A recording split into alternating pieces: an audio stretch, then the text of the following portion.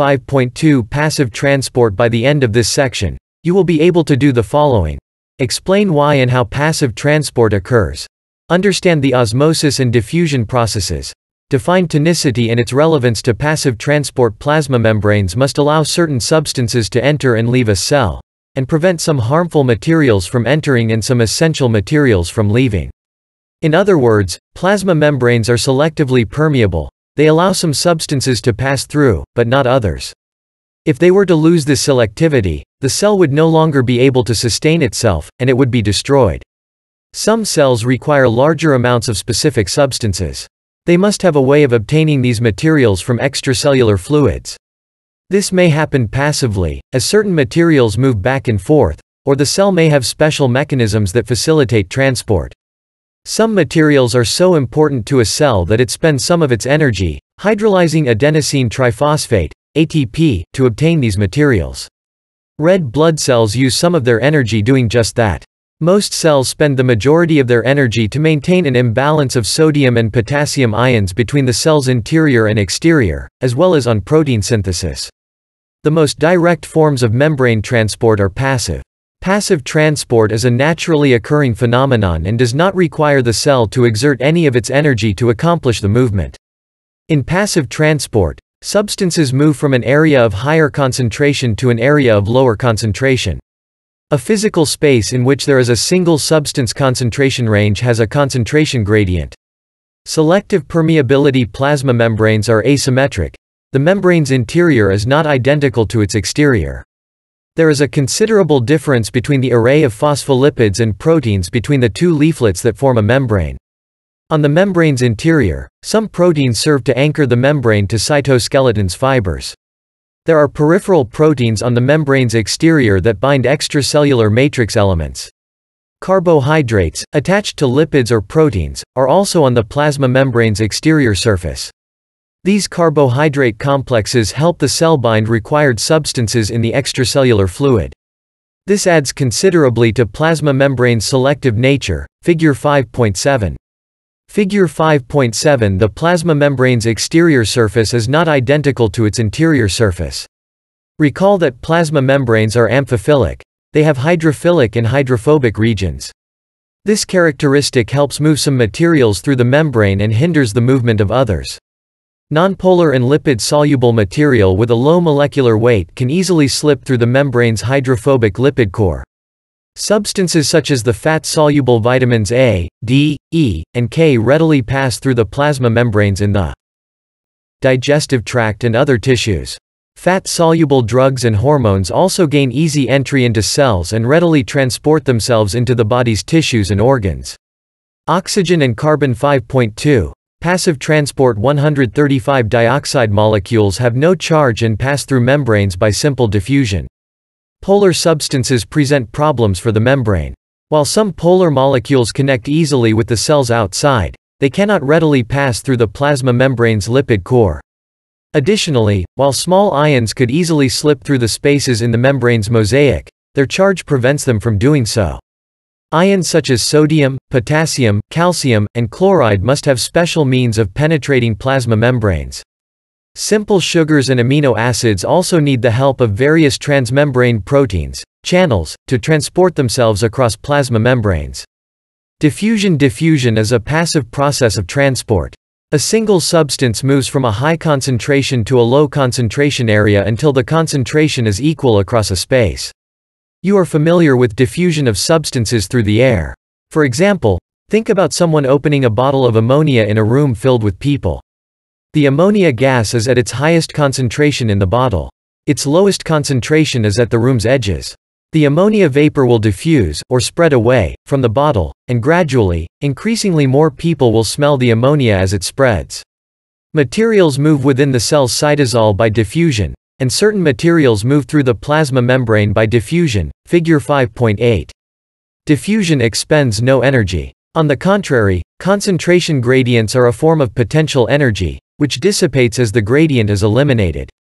Figure 5.8 Diffusion through a permeable membrane moves a substance from a high concentration area, extracellular fluid, in this case, down its concentration gradient, into the cytoplasm. Credit. Modification of work by Mariana Ruiz Villarreal. Each separate substance in a medium, such as the extracellular fluid, has its own concentration gradient, independent of other materials' concentration gradients. In addition, each substance will diffuse according to that gradient. Within a system, there will be different diffusion rates of various substances in the medium. Factors that affect diffusion molecules move constantly in a random manner, at a rate that depends on their mass, their environment, and the amount of thermal energy they possess, which in turn is a function of temperature. This movement accounts for molecule diffusion through whatever medium in which they are localized. A substance moves into any space available to it until it evenly distributes itself throughout. After a substance has diffused completely through a space, removing its concentration gradient, molecules will still move around in the space, but there will be no net movement of the number of molecules from one area to another. We call this lack of a concentration gradient in which the substance has no net movement dynamic equilibrium. While diffusion will go forward in the presence of a substance's concentration gradient, several factors affect the diffusion rate. Extent of the concentration gradient, the greater the difference in concentration, the more rapid the diffusion. The closer the distribution of the material gets to equilibrium, the slower the diffusion rate. Mass of the molecules diffusing. Heavier molecules move more slowly. Therefore, they diffuse more slowly. The reverse is true for lighter molecules. Temperature. Higher temperatures increase the energy and therefore the molecule's movement, increasing the diffusion rate. Lower temperatures decrease the molecule's energy, thus decreasing the diffusion rate. Solvent density. As the density of a solvent increases, the diffusion rate decreases.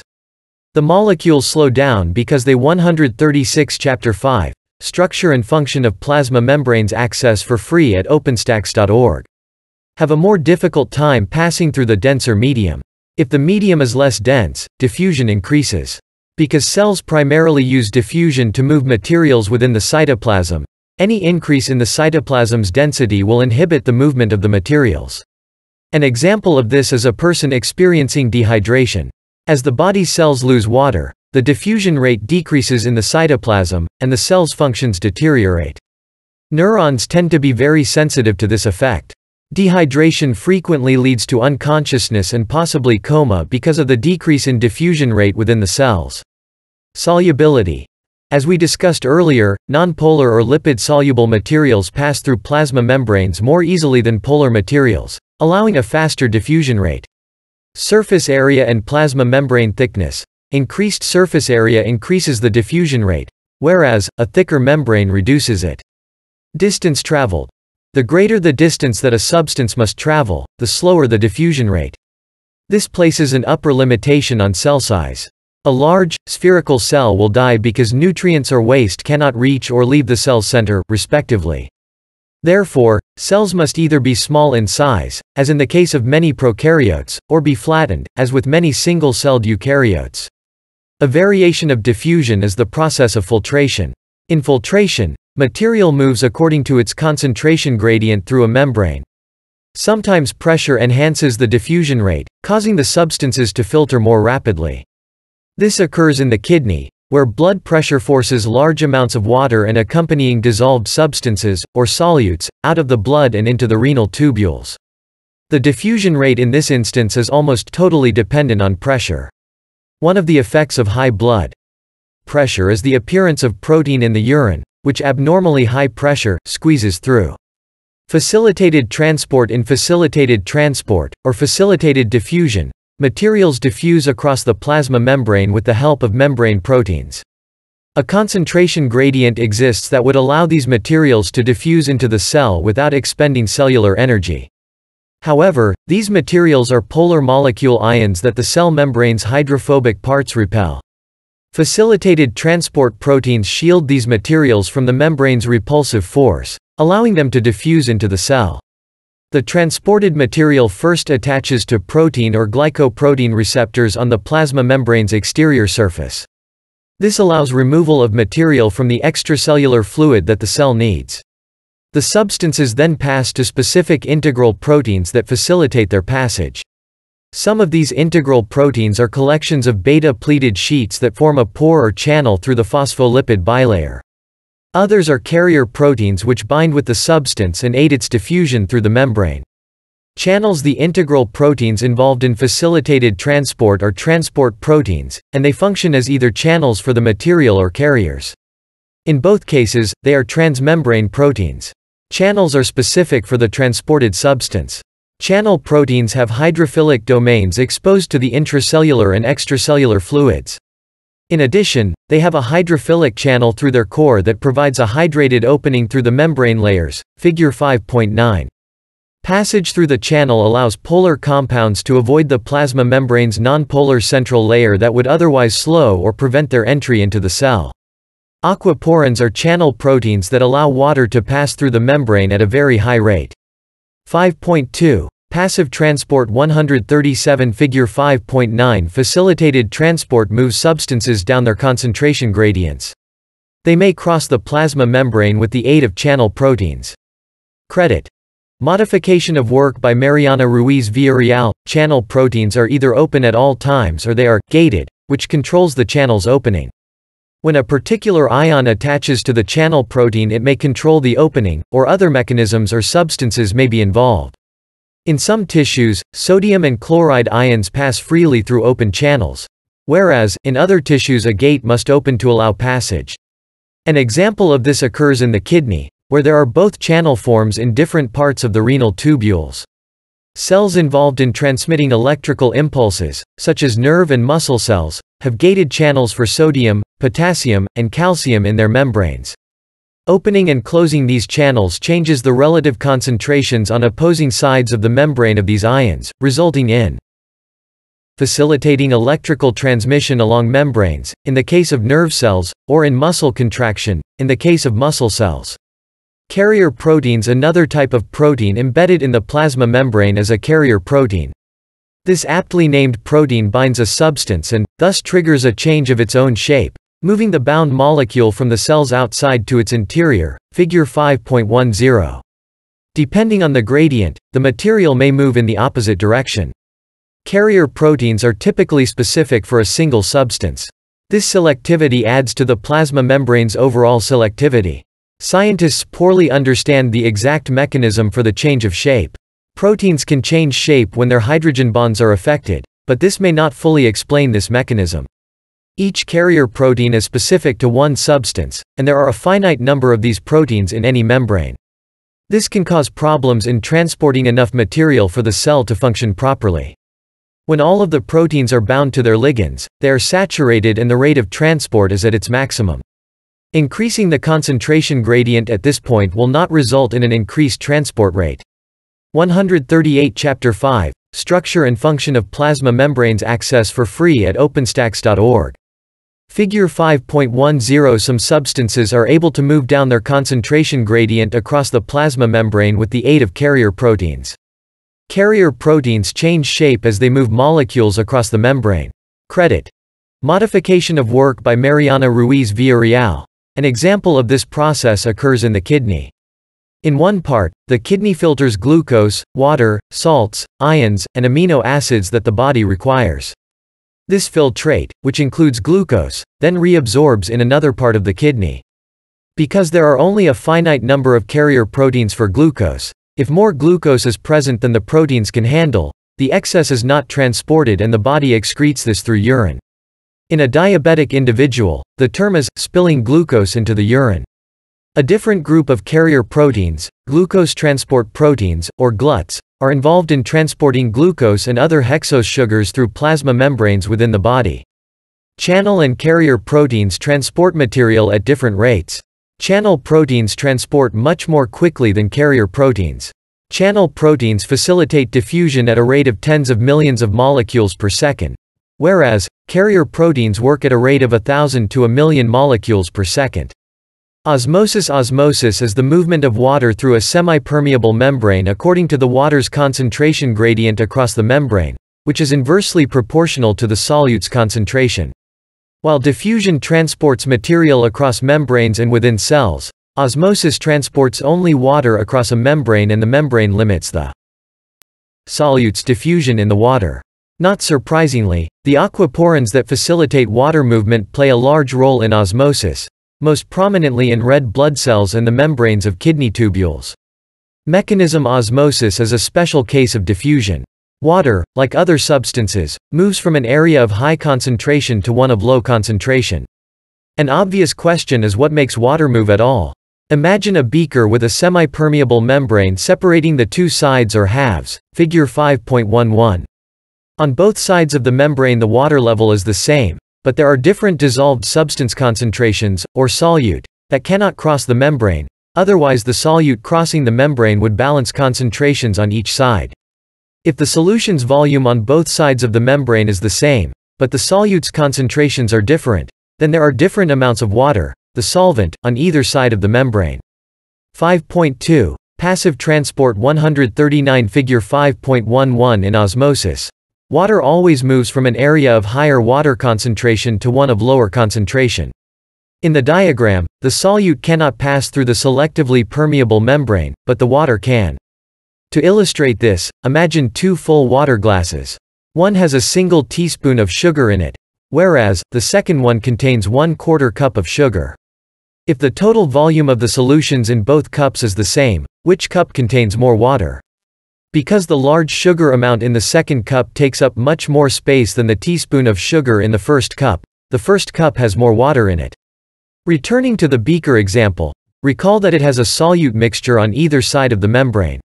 A principle of diffusion is that the molecules move around and will spread evenly throughout the medium if they can. However, only the material capable of getting through the membrane will diffuse through it. In this example, the solute cannot diffuse through the membrane, but the water can. Water has a concentration gradient in this system.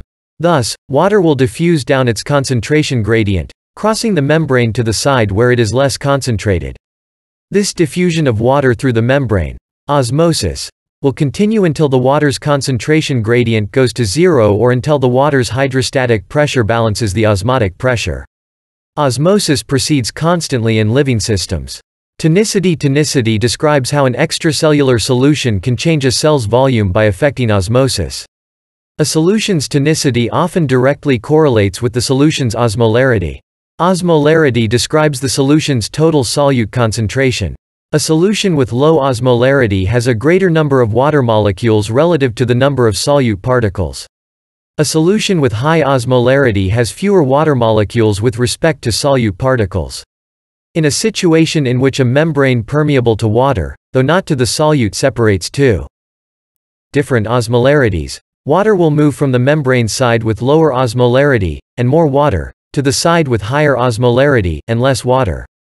This effect makes sense if you remember that the solute cannot move across the membrane, and thus the only component in the system that can move, the water, moves along its own concentration gradient. An important distinction that concerns living systems is that osmolarity measures the number of particles, which may be molecules, in a solution. Therefore, a solution that is cloudy with cells may have a lower osmolarity than a solution that is clear, if the second solution contains more dissolved molecules than there are cells. Hypotonic solution scientists use three terms, hypotonic, isotonic, and hypertonic, to relate the cell's osmolarity to the extracellular fluid's osmolarity that contains the cells. In a hypotonic situation, the extracellular fluid has lower osmolarity than the fluid inside the cell, and water enters the cell. In living systems, the point of reference is always the cytoplasm, so the prefix hypo means that the extracellular fluid has a lower solute concentration, or a lower osmolarity, than the cell cytoplasm. It also means that the extracellular fluid has a higher water concentration in the solution than does the cell. In this situation, water will follow its concentration gradient and enter the cell. Hypertonic solutions As for a hypertonic solution, the prefix hyper refers to the extracellular fluid having a higher osmolarity than the cell's cytoplasm. Therefore, the fluid contains less water than the cell does. Because the cell has a relatively higher water concentration, water will leave the cell.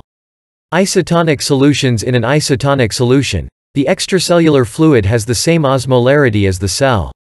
If the cell's osmolarity matches that of the extracellular fluid, there will be no net movement of water into or out of the cell, although water will still move in and out. Blood 140 Chapter 5, Structure and Function of Plasma Membranes Access for free at openstax.org. Cells and plant cells in hypertonic, isotonic, and hypotonic solutions take on characteristic appearances. Figure 5.12. Visual connection Figure 5.12 Osmotic pressure changes red blood cells shape in hypertonic, isotonic, and hypotonic solutions. Credit. Mariana Ruiz Villarreal. A doctor injects a patient with what the doctor thinks is an isotonic saline solution. The patient dies, and an autopsy reveals that many red blood cells have been destroyed. Do you think the solution the doctor injected was really isotonic? Link to learning for a video illustrating the diffusion process in solutions. Visit this site, http colon slash slash openstax.org l slash dispersion closing parenthesis. Tonicity in living systems in a hypotonic environment, water enters a cell, and the cell swells. In an isotonic condition, the relative solute and solvent concentrations are equal on both membrane sides. There is no net water movement. Therefore, there is no change in the cell size. In a hypertonic solution, water leaves a cell and the cell shrinks. If either the hypo or hyper condition goes to excess, the cell's functions become compromised, and the cell may be destroyed. A red blood cell will burst, or lyse, when it swells beyond the plasma membrane's capability to expand. Remember, the membrane resembles a mosaic, with discrete spaces between the molecules comprising it. If the cell swells and the spaces between the lipids and proteins become too large, the cell will break apart. In contrast, when excessive water amounts leave a red blood cell, the cell shrinks or crenates. This has the effect of concentrating the solutes left in the cell, making the cytosol denser and interfering with diffusion within the cell. The cell's ability to function will be compromised and may also result in the cell's death. Various living things have ways of controlling the effects of osmosis, a mechanism we call osmoregulation. Some organisms, such as plants, fungi, bacteria, and some protists, have cell walls that surround the plasma membrane and prevent cell lysis in a hypotonic solution. The plasma membrane can only expand to the cell wall's limit, so the cell will not lyse. The cytoplasm in plants is always slightly hypertonic to the cellular environment, and water will always enter a cell if water is available. This water inflow produces turgor pressure, which stiffens the plant's cell walls, figure 5.13. In non-woody plants, turgor pressure supports the plant. Conversely, if you do not water the plant, the extracellular fluid will become hypertonic, causing water to leave the cell. In this condition, the cell does not shrink because the cell wall is not flexible. However, the cell membrane detaches from the wall and constricts the cytoplasm. We call this plasmolysis. Plants lose turgor pressure in this condition and wilt, figure 5.14. 5.2. Passive transport 141 Figure 5.13 The turgor pressure within a plant cell depends on the solution's tonicity in which it is bathed. Credit. Modification of work by Mariana Ruiz Villarreal. Figure 5.14 Without adequate water. The plant on the left has lost turgor pressure, visible in its wilting. Watering the plant, right, will restore the turgor pressure. Credit. Victor M. Vicente Selvas. Tonicity is a concern for all living things. For example, paramecia and amoebas, which are protists that lack cell walls, have contractile vacuoles. This vesicle collects excess water from the cell and pumps it out, keeping the cell from lysing as it takes on water from its environment. Figure 5.15. Figure 5.15a Paramecium's contractile vacuole, here visualized using bright field light microscopy at 480x magnification, continuously pumps water out of the organism's body to keep it from bursting in a hypotonic medium. Credit. Modification of work by NIH. Scale bar data from Matt Russell, many marine invertebrates have internal salt levels matched to their environments, making them isotonic with the water in which they live. Fish, however, must spend approximately 5% of their metabolic energy maintaining osmotic homeostasis. Freshwater fish live in an environment that is hypotonic to their cells. These fish actively take in salt through their gills and excrete diluted urine to rid themselves of excess water. Saltwater fish live in the reverse environment, which is hypertonic to their cells, and they secrete salt through their gills and excrete highly concentrated urine. In vertebrates, the kidneys regulate the water amount in the body. Osmoreceptors are specialized cells in the brain that monitor solute concentration in the blood. If the solute levels increase beyond a certain range, a hormone releases that slows water loss through the kidney and dilutes the blood to safer levels. Animals also have high albumin concentrations, which the liver produces, in their blood. This protein is too large to pass easily through plasma membranes and is a major factor in controlling